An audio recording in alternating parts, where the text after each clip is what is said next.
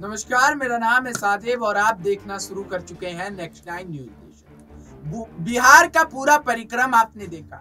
आपने देखा कि कैसे नीतीश कुमार ने भाजपा के साथ गठबंधन तोड़कर अपने पुराने गठबंधन के साथ, जिनके साथ उन्होंने राजनीतिक करियर शुरुआत की थी, वो लालू यादव के साथ यानी कि लालू यादव के बेटे तेजस्वी यादव के साथ गठबंधन करके बिहार में सरकार बना ली।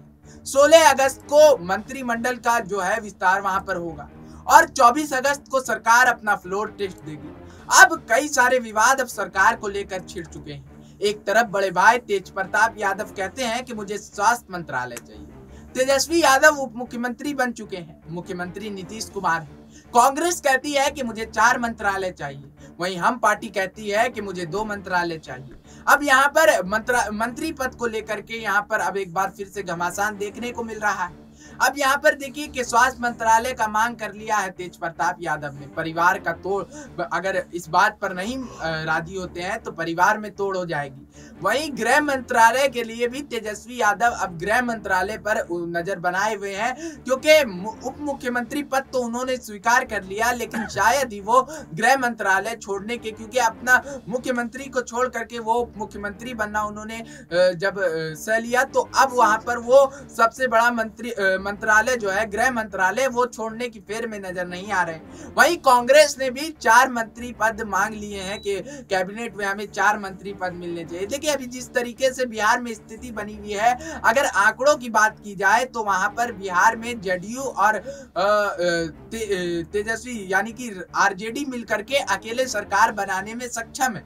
और अगर कांग्रेस अपने इस तरीके के जो अपने बात पर अड़ी रहती है कि हमें चार मंत्री पद चाहिए तो कांग्रेस के लिए ये मुश्किल हो सकता है, क्योंकि कांग्रेस को अगर गठबंधन से बाहर कर देते हैं तो भी वहाँ पर सरकार बनाने में उन्हें तकलीफ़ नहीं होगी, क्योंकि ये जो गठबंधन है, यहाँ हर छोटी छोटी पार्टी को इस गठबंधन में जगह दी है, ताकि भाजपा जो है, वहाँ पर बिहार में सेंधमारी ना कर सके। सबसे बड़ी बात यह है कि भाजपा सेंधमारी ना कर सके। अब यहाँ पर बात आती है कि अगर कांग्रेस को गठबंधन से बाहर कर देते हैं तो नीतीश कुमार ने जो सपना देखा है 2024 में प्रधानमंत्री पद की उम्मीदवारी का, क्या वो सपना पूरा हो सकेगा? ये सबसे बड़ा सवाल है। तो अब देखना ये दिलचस्प होगा कि बिहार में जिस तरीके से अभी घमासान छिड़ा हुआ है गृह मंत्रालय पर लगातार तेजस्वी यादव नज़र बनाए हुए हैं। दो मंत्रालय हम पार्टी मांग रही है, यानी जीतन राम मांझी की पार्टी और वहीं कांग्रेस ने भी चार मंत्री मंत्रालय का जो है मांग कर दिया है। अब यहाँ पर देखते हैं कि पार्टियों के बीच जो है समानव्य बन पाता है कि नहीं?